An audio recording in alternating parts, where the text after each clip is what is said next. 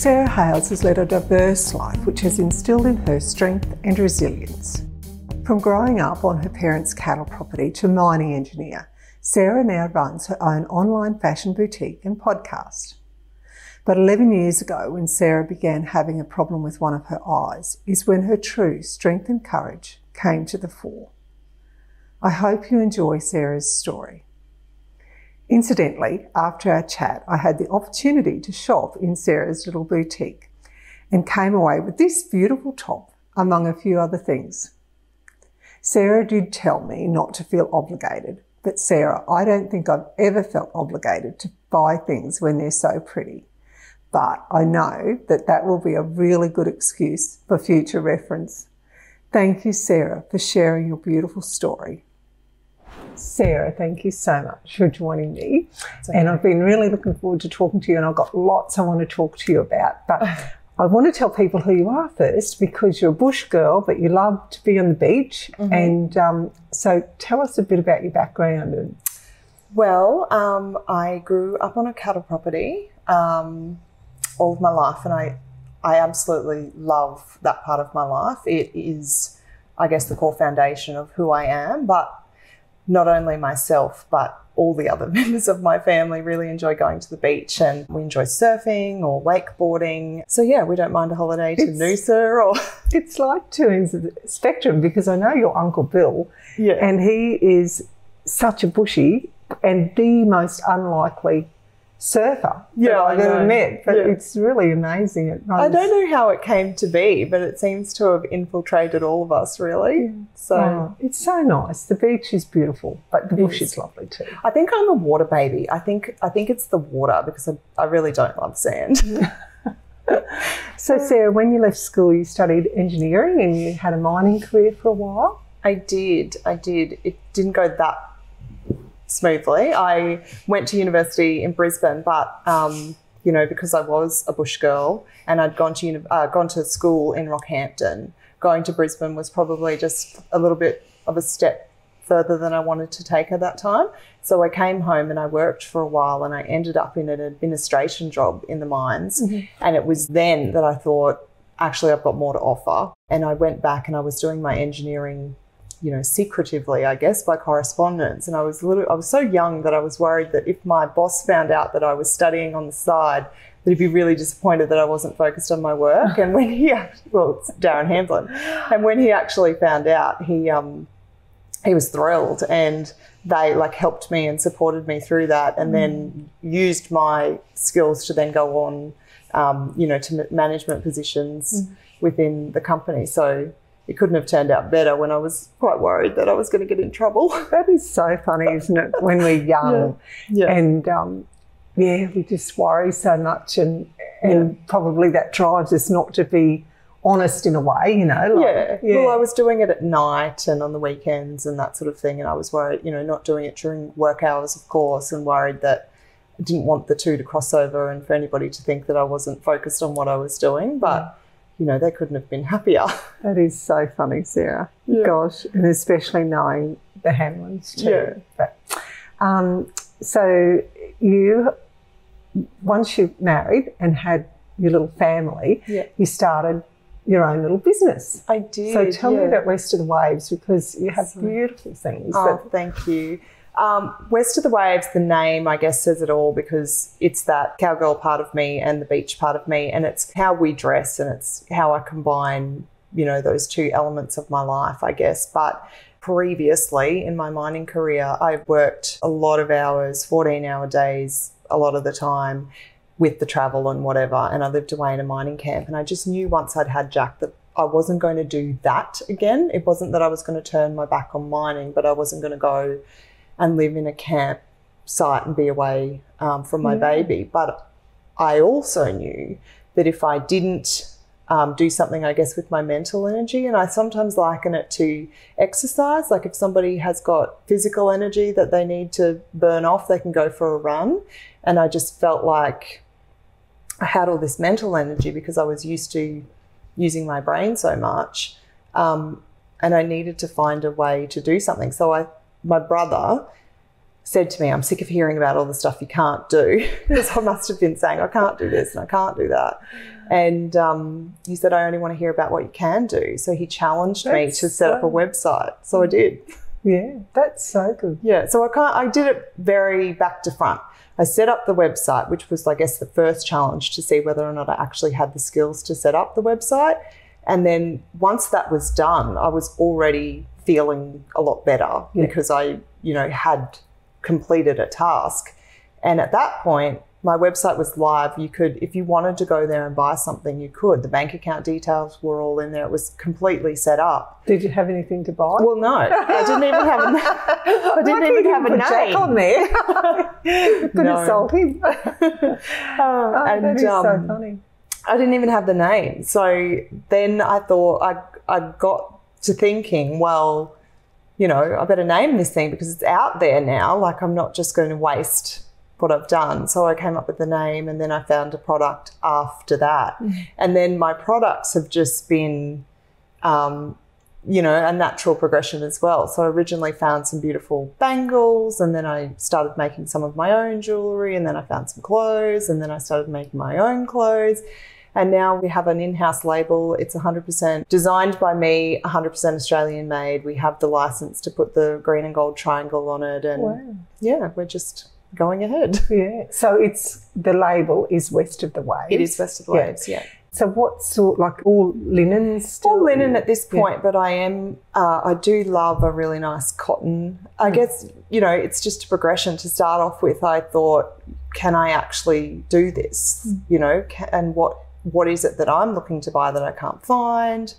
So they're all essentially pieces that I would wear myself and features that I like. Being so tall, I like my dresses to be a bit longer. I like everything with a pocket. So but yeah, I am looking into some beautiful printed cottons and some more ginghams and that sort of thing. So we're like always trying to move ahead and add new styles, but it's just slowly, slowly.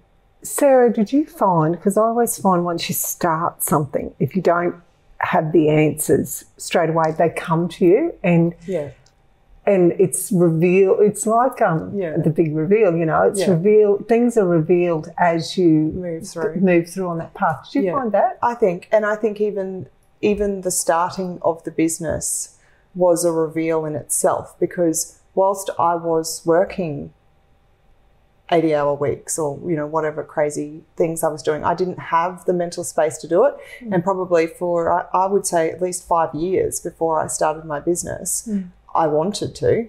I, I would think about it and hmm. think you know I'd really like to do something for myself. But I had myself convinced that I couldn't set up my own website. I'd even started before. I'd gone to like a website building platforms and had a bit of a muck around, but I'd never gotten to the point where I started. Hmm. And I watched this little clip actually in that, you know, time when Will said to me, just get onto it. Um, which was that lady called Mel Robbins. I don't, Oh, yeah, yeah, yeah, yeah, yeah. The um, where she counts backwards yeah five, four, three, two, one, and then take action Mm-hmm. because you're like short circuiting your brain or sort of tricking yourself because your brain is set up to um, keep you safe. Mm. So if you if you start thinking about something and it makes you anxious, then your brain will start saying, "Oh, you can't do that."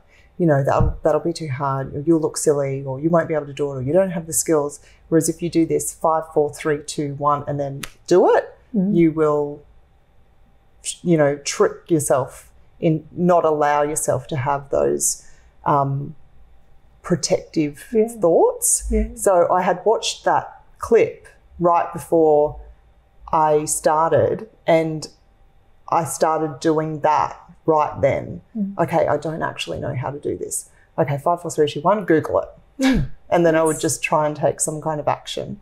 yeah Yeah. um, because I was going to ask you was fear part of what held you back because we um, we're fearful of what other people think we're fearful of Yeah. if people are going to think we're silly for doing Oh, it and yeah. think, oh, what does, who does she think she is? She can't do that. Yeah, who So- does she think she is? She's not a fashion designer. Half So- the time I look terrible in my, you know. Oh, that is not true, Sarah. I have never, ever seen you look Oh, terrible. Ever. Thank you. Oh, um, Yeah, but but was that part of it? Like, I think so, yeah. Even when I did find my product, I guess, I started with 20, 20 bangles. And when I was, you know, working with the ladies that make them for me, I was making styles that I knew that I could give to my sister or my mother or when it inevitably failed because nobody bought anything.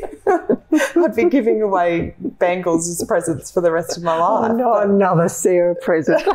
Another bloody bangle. So, um, and how did you go about telling Brian, your husband? Like, was he supportive? Were you a bit scared to tell him Oh, your idea? Or I did a lot of it when he was at work because Jack was so small. Like Jack was probably only five months old when I started, and he was still in that, you know, eat sleep routine. And I would put him in his little Moses basket up on the table, and um, you know, maybe if he slept for an hour, then I would work on it then. Uh, so I think I had the website, like I, I actually had the website 100% built um, in 24 hours. And then it was, you know, the name and that sort of thing came afterwards. But I told Brian little bits here and there. But he had actually started um, a little business just before we got married. So he has, he loves to go crabbing and fishing, and he wanted his own um, fishing shirt, like a 50 plus sun protection. So he had already designed his own. So, um, yeah, he was very supportive because, yeah, just something different but similar. yeah, that's fantastic because that can always, you know, the support or or lack of support that you get from your partner can play a big role in the Yeah. success or, or you know the whether to keep going or not as well. I yeah, guess. I So- think um, because for me, I love it so much. I don't mind doing it at night or on the weekend because it's not a hobby, it's a genuine business. But whereas something in your mining career might have been hard and then you find ways to avoid it because, oh my God, that's going to be so hard, I don't know what I'm doing or hmm. whatever yeah, um, and that's not necessarily enjoyable. Whereas with this, even though it might be hard, it's really enjoyable. Yeah. So I can do it at night or on the weekends. And sometimes when he comes home from work, he sees that as work, and I'm hmm. like, no, I'm really enjoying myself. I'm hmm. happy to. You know, use my spare time to do this. So there was a period where I thought he really hated it, but just recently I had a, uh, an issue with my social media. My social media got hacked, and I was very like, oh God, should I just, I'll just shut it down, Brian. Like, I'll just get rid of it. And he said, no, don't, don't do that. You've put so much effort into it. And I know that you love it. And that's when I was thought, okay, he, I knew he was on board, but that's when I knew that he really, really was on board. yeah, Yeah. yeah. Oh, it's that's so good to have that support. Yeah, it's great. Yeah. Um, so, Sarah, the main reason I want to speak to you today Yeah. is about your eye injury because um, we were at Beef Week and we were talking about it, and you said to me, I don't want this to be wasted. And I just thought that was such a powerful statement um, because, you know, I guess we get used to how we look and then something happens and we don't look the way we used to we used to. And um, you know if we look a little bit different I, I just think coming to terms with that and owning it helps so many people from from two different perspectives. It helps people who might go through a similar thing but it helps people accepting differences in us as well i Yeah. think so you talking about it um, and your journey with it is so important i think Yeah. in helping people so tell me the journey like how it started what happened Well, um, I had a pterygium on my eye, which is not uncommon. so how long ago Well, I don't even remember. Well, the operation um, was almost 11 years ago.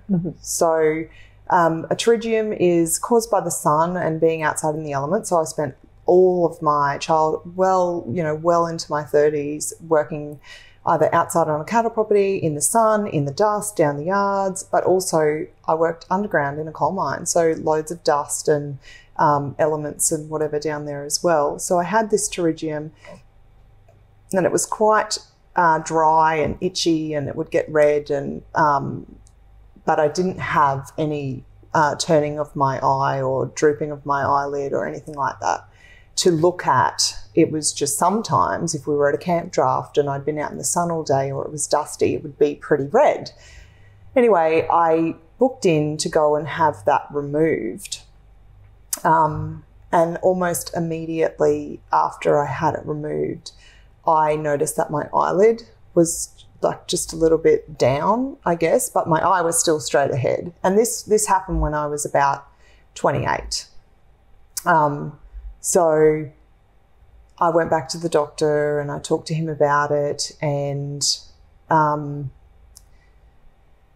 you know they said they hadn't done anything wrong and whatever. And then I ended up getting a referral, and we went down to the Eye Institute in Brisbane and I remember exactly when it was. It was my mum. It was the Anzac Day long weekend because it was my mum and dad's thirtieth wedding anniversary, and Alex and I, my sister and I, um, were taking them out to dinner in Brisbane for their wedding anniversary. And um, yes, we went to the Eye Institute, and I had had to wait five months for my appointment to see this top specialist. And we went into the appointment, and you've got to remember that at that stage, the actual like visual appearance of what had happened to my face was um, quite minimal. I mean, I knew it, mum knew it, but to to the average person, it wasn't that obvious. It has significantly, like very gradually, but significantly deteriorated over ten years. So anyway, we're at the doc- at the doctor's surgery in Brisbane, and um, this specialist said to me, you know, he did a few checks and he said, I can't actually see anything wrong with surgery or anything that might have caused this. But if you can just wait a minute, I'm going to go and get my colleague and, um, you know, see whether or not I can book you in with an appointment with him. So when he left the room, I was saying to him, oh God, we're going to have to come back. How long is this going to take? Mm. Had to wait five months for this guy. And he came back in and said, Oh, he's going to see you in 20 minutes. Oh, gosh. So we waited back in the waiting room, and then we went into this guy, and um, and he said, uh, we saw him and whatever, and he said, I need to get you in for a brain scan. So we went. You know, we waited for that while his secretary uh, tried to make arrangements, and he said, "I've got you in at the Brisbane Mater tonight at eleven forty-five p.m." And I just said to him, I said, I I know that you cannot clear the schedule at the Brisbane Mater for me to have a brain scan like that. Like, can you just at least tell me what it is that you're looking for? And he said, um, We're looking for a brain tumour. Um, no, he said, We're testing you for multiple sclerosis, and we're also seeing if there are any tumours which would be a better diagnosis because there's something that we could do about that, whereas there's just not a lot that they could do if it was MS. Mm-hmm. Anyway, I mean, that was pretty traumatic, oh, obviously. Yeah. yeah. and um, so we went through all of that, and I don't have MS and I don't have a brain tumor. Um, but following that, there was, you know, every other kind of test you could ever imagine. I've had uh, a lumbar puncture where they take spinal cord fluid. I actually ended up having brain scans every six months for five years, I think. I saw an MS specialist. Mm. Um, had a nerve conduction study where they um, essentially they put um, electrodes on you and they zap certain parts of your body to test your nerve response to see how your nerves fatigue and see if that's um, you know in line with what is normal and that was normal um, beautiful graham acton who's obviously a friend of ours he got a referral to through a friend to a specialist in melbourne and i went to see him and um, he was unable to enlighten me on anything either. So realistically, um, I've had test after test after test, and no one can tell me why Even to this day. to this day. So, Sarah, what about the sight? Do you still have sight in it? Well, if I cover my eye, Mm. this one just comes straight back. Oh, it does too. So it's almost like it's a it's a disconnect between the two hemispheres of your brain because I don't know. I'm not a doctor, but I've talked to all of these people over the time, Oh, so yeah. I'm probably like paraphrasing. Um, but you know, essentially, there there would have been a time when maybe they weren't working together so well, and your brain says, um, "This is unsafe. We'll just cut that one out." I mean, your brain is so incredibly smart and you know um, just amazing um, that yeah I can see I can see fine and um, but it obviously has just you know overridden that to do the thing that's safest for your body I guess so So, Sarah, like, um, were you with Brian? no No. So he came along after this happened. Yeah. So was that even in your mind? Like, as your face was changing, did you, did Yeah. like emotionally, you know, did you think no one will ever, yeah you know, I thought all even those though, things. like, to me, you're still the most beautiful, one of the most beautiful looking women. And, but I, I just know when, when you change yourself and you look, you know, you look a little different to what you used to. Can, so, yeah. I, I absolutely thought all of those things. And I was thinking about this last night, just briefly, um, that I guess, yeah, I had all those thoughts. No one, no one will love me. Who would want to go out with somebody that looks like that? All of those thoughts. But I guess in a way, when I met and then married Brian, it's kind of like the relationship was just that little bit deeper because I knew that he genuinely loved me. Mm-hmm. Like that wasn't even an issue for him. It was never never discussed. It's just part of who I am, and mm. he doesn't care. Mm. mm. It almost makes the relationship a little bit sweeter because of it, because I know that it's no problem for him. and I guess it it show it it proves to pe- so many people that there is you know it's not about what we look like you know and and you know as we age too you know probably I worry about aging you know Mm. and and you look back at photos of yourself when you were younger and you think oh wow you know Yeah. but um yeah there's so much more to us isn't there than Yeah, there is. There really is. And I was never like that. I didn't, I've never cared about what somebody looked like, how fat, how skinny, how tall, how short. It does not bother me at all. If you're a nice, kind person, then, you know, I've, I've always been like that. But I think sometimes too, like when I was younger, and I was, I was really beautiful when I was younger. I oh, really you- was. you still are Thank you. But I think I didn't appreciate it as much. And there also is that element of when you are like a pretty girl, you sort of wonder, like, you know, do these go, are they taking me seriously? Or I don't know. I suppose Yeah. too, in my mind and career, I was always surrounded by so many men who were amazing. Like I've, I've loved them and I've had such a great um, working career. But sometimes I'm like, are these people taking me seriously?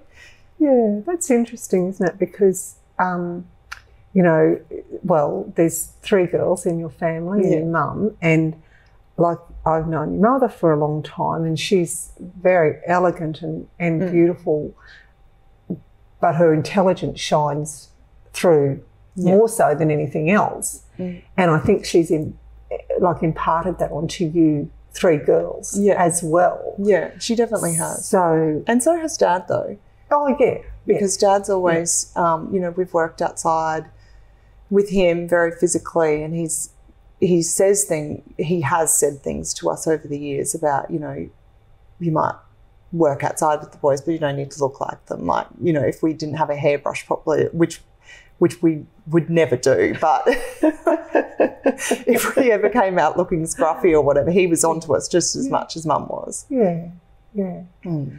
But yeah, it's interesting that you think as a a beautiful looking girl that people wouldn't take your intelligence seriously because just from my experience knowing your family and that's the you know starting with your mum that's the thing that you know she's beautiful but she's also very intelligent you Mm. know Yeah, and, she is. and that um yeah is there for everybody to see so um Sarah we, were- we were talking before about how comfortable you have been you know showing your face and you've worn glass you wear sunglasses a lot and Yeah, I wear sunglasses a lot because what people maybe don't realize is that post surgery, my eyes are so sensitive to the light.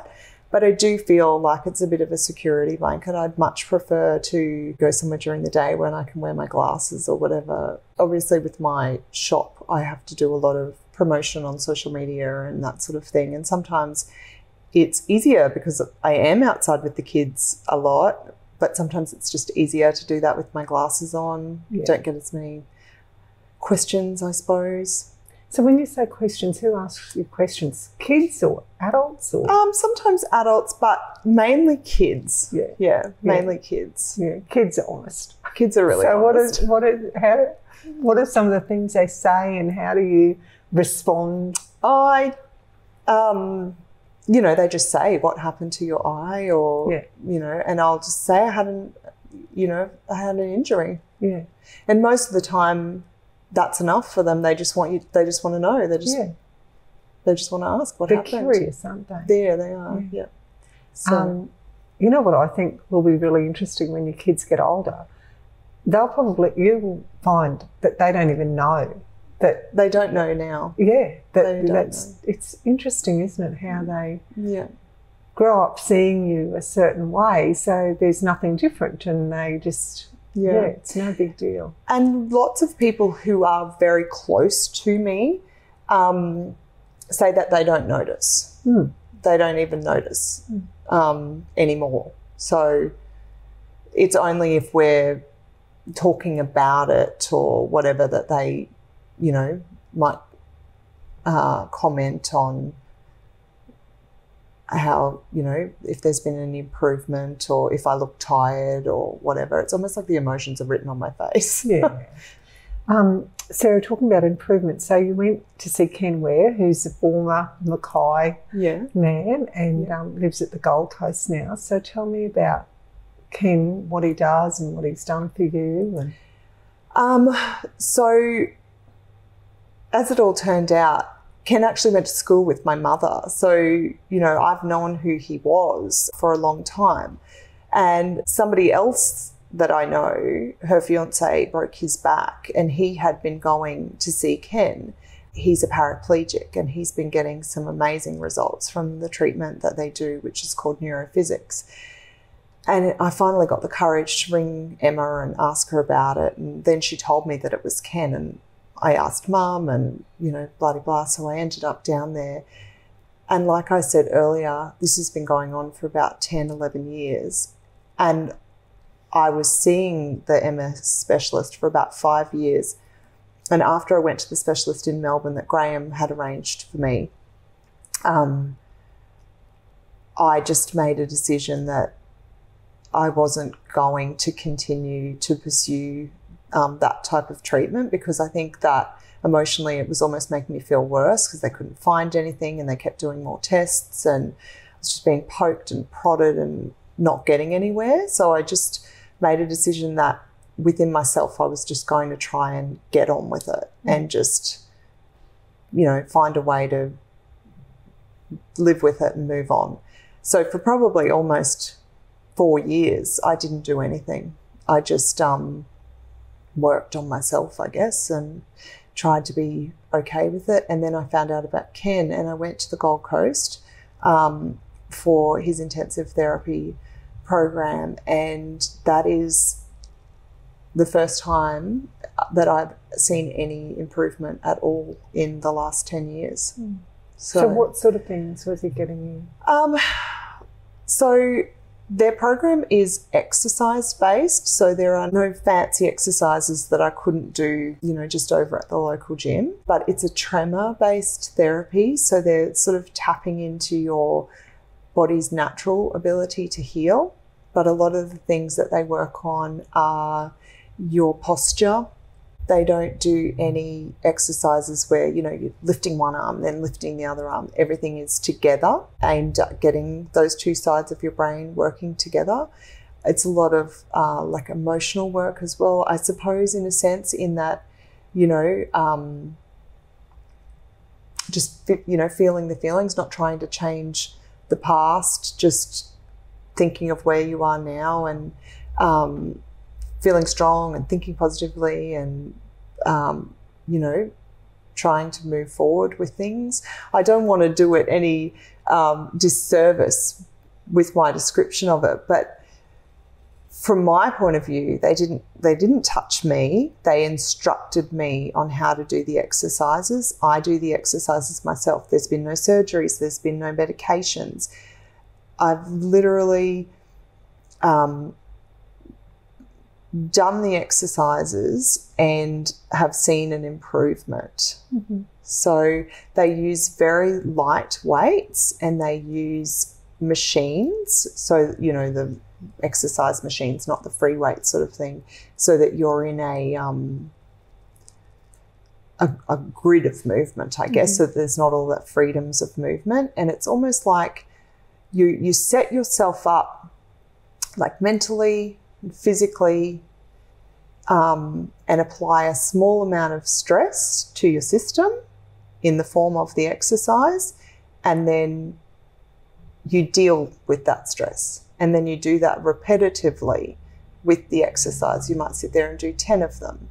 And then you, you move away from that exercise and move on to the next one. So you apply a little tiny bit of stress to your system and you sit with it and you think about your reaction to it. Because when you then leave the gym, having had a stress and then dealt with it, you're then moving away from that in a like a much better emotional, physical, mental state mm. To then move on to the next task. And if you continuously do that day after day after day, you begin to see improvements. Mm. That is, it is amazing. So, uh, on a say percentage basis, how what percentage of improvement do you think you've seen? Oh, I wouldn't know, um, like only a few percent. Yeah. But I actually think that it has changed my life because it hasn't just been the physical, like the visual improvement that I can see and that my family can see. Mm. I've taken progress photos. Yeah. So you can see that yeah. there's been an improvement. But how I handle other stresses or how I might conduct myself has actually gotten better as well. So it's not yeah. it's not they're not just working on your one specific injury. All of their in, all of their exercises are whole of body, so it infiltrates into other parts of your life as well. Mm. It's so interesting, isn't it? And yeah. Um, Sarah, I'm so grateful to you for talking about it all. Um, you know your feelings and your journey that you've been on with your eye, because I honestly believe it does break down barriers and and as I said before, you know, there's in in two particular ways in helping somebody else and, and in having other people accept the differences in people. So, um, yeah, I'm really, really grateful to oh, you, you. And, well, like I said to you when we were at Beef Week, I feel like there was a time when I like retracted back into myself, I guess, and it's probably through having the kids that I don't want to do that. I don't want them to see me like that. I don't want them to think that that's how you behave, I guess, or I just want to be a better example for them. But also, it's been pretty traumatic and I don't mm. want it to be wasted, I guess. I feel like I'm on the healing part of it now, I guess. I feel like uh, rather than somebody else going through the going through it on their own or um, I don't I don't know what it is, but I feel like I have to share it. I almost feel like a responsibility to talk about it so that somebody else, if somebody else gets something out of it, then it it won't have just been like a rubbish time in my life. It will have been valuable to somebody else. Yeah. If that makes sense. I hope it does. That's a wonderful attitude to have, and um, is testament to the strength of character that you possess, thank Sarah. You. So yeah, thank mm. you very much. Okay. To, you've got so much going on. I want to talk to you also about your podcast because, my gosh, I hadn't listened to it. Uh, like you know, I follow you on Instagram and and I love your Instagram page. I love. I get such a laugh out of a lot of the stuff that you put up there, your quotes and and things. And um, but when I listened to it, so it's called uh, everything, all, all things, all small things biz. small biz with Sarah Hayles. But there's so much valuable information there because you're talking to people with actual experience. Yeah. You've got the experience. Thank you. But the thing I really love about it is you have Brian on there too at the beginning and the end. Yeah. And I said to you before, you know, actually, Sarah, he is the star of the podcast, not you. He's so funny. And um, I just think it's a really unique, um, interesting way that you present it. And Yeah. so tell me anyway. that's- Ah, well, How- how that all came about, probably a combination of things. Firstly, being that I'm not that confident to do so many videos and whatever on my Instagram because I try my hardest and I, I really do try my hardest, but it's not, you know, I'm just not that great at it. So, audio, where I don't have to worry about the video, is probably a lot better for me. But I was also looking, I also recently had a terrible experience where my Instagram was hacked and I lost my whole social media following. So I was starting to think about ways that I could promote my business differently. And I was looking into putting um, an ad on the radio. And it was going to be really expensive. And I started thinking about, you know, somebody like me who spends a lot of time at home with kids and not a lot of time in the car listening to the radio, um, who does spend time in the car listening to the radio, probably a lot of men driving to and from mines or whatever. Um, so I started wondering whether or not that was the best way to spend my advertising dollar. And I'd been talking to somebody else about a podcast. So I started doing a few investigations, and it was going to be a lot cheaper for me to start a podcast than it was um, to put an ad on the radio. So I thought, okay, well, I'll give it a go. so I did. And um, the the podcast is all about again i wanted to share my experience um, with starting my small business because i think that if i had have started it i could have i could have started it five years earlier if i had felt confident um, in my ability to set up a website or if i had somebody to talk to about it. So i really wanted to sort of share my experience so that somebody else might find the confidence to actually get started on their small business. So, how it works is Brian and I do a little bit of a chat at the start about the topic, and then we have a guest in, and I interview the guest. And we've had um, Tori from the small business community, and Jen Donovan, who's the founder of Buy From a Bush Business, and loads of other businesses. And then Brian and I do a wrap up at the end. Um, but I guess the value for me comes because I talk about my business. That's my point of reference. Um, and then we're promoting someone else's business. And oftentimes I share it to my community of people and they share it to their community of people, and there's that crossover. So we're sort of promoting each other's businesses um, and find new customers that way. That yeah, that way. But it's um, it's been really fun. I've really, I'm really liking it.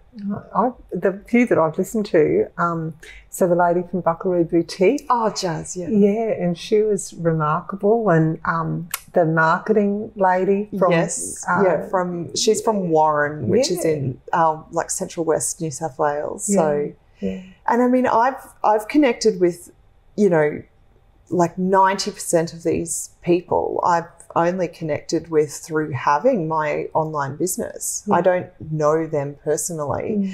Mm. Um, but when you sort of start to find your little crowd of uh, supporters and people that you can ask questions of, it's just amazing Mm. that we can have never met but really feel that connection yeah, and help each other and be Yeah. there to, you know, share and learn from. It's amazing. And Sarah, I think in this era, uh, with technology, the way it is, that's made it so much easier than Yeah. what perhaps our parents would have. Oh, definitely, definitely. Yeah.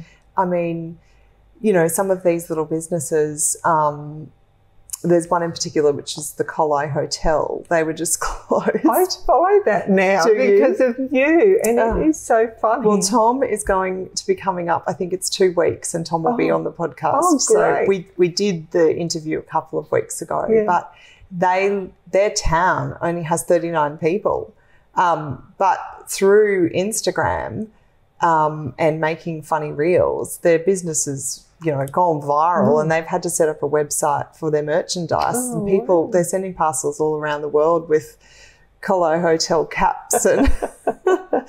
but it's you know there's another lady who's coming up um, Prue she has a business called Hello Hattie and um, she's in a small town outside of Dubbo and they only have a few thousand people in their town but through promotion on social media and and not paid promotion just people sharing and talking about their businesses. Her business my business as well send parcels all over Australia. Um, and I mean think back to our parents or our grandparents. How would they ever have been able to connect with customers um, far and wide like we can today Mm. it's really amazing I just had a thought, Sarah, which I'll, I'll ask you about.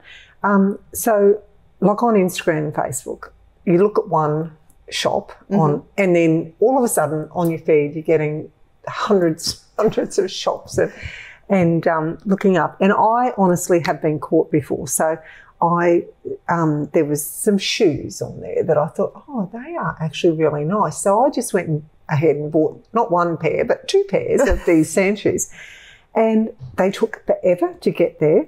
and when they arrived, they were crap. Like They were they, awful. I, I wore one pair a couple of times, and then the soles fell off, and Oh, they no. just and so the other pair they were an awful colour, and and I realised there was no way I could send them back because there was nothing, and so I have learned a lesson in Mm. that into make sure making sure I go ahead and read reviews.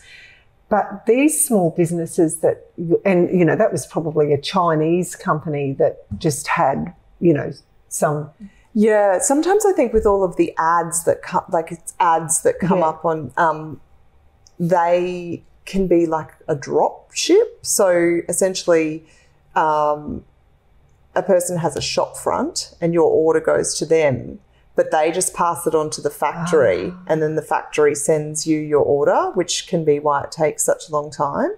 Um, but I think that when you start following the little businesses and you can see the person behind it and really connect with them over time, I guess through their sharing, um, that's how I like to build a relationship with the business. again. I guess I don't really go onto the ads. I'm also go onto their actual page, if that makes sense. Yeah. And like the theme I pick up through through what you do, like through your through West of the Waves and the people that you speak to that that have similar businesses, is that customer service is a priority and that you you actually answer all the questions and you um, you are you are there for you're actually a human. You know, Yeah, a human there, being behind it. um, for your customers, and that's so important. And yeah. I think it's important to weed out the ones that aren't. And Yeah, definitely. Yeah. Definitely. I have one more question. Yes. So at the end of your podcast, you always ask the interviewee what their favourite business hack is. Oh, so gosh. Sarah Hayles, what is your favourite business hack? oh, I don't know. I think they change all the time. Um, I think mine, and it's sort of funny how it comes about really, is because even though my social media following was hacked, I had several thousand, I, you know, worked really hard to build up the community of people that were following the business. And then that was just taken away. But I'm trying to see that, I guess, as a bit of a silver lining because from when I decided that I was going to restart, that's when I decided that I was just going to take my glasses off and just, it is what it is.